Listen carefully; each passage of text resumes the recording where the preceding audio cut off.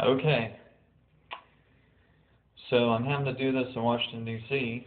in my hotel room, but I never miss a challenge. So I've got a glass of cold ice water, and I'm going to pour this over my head. Here I go.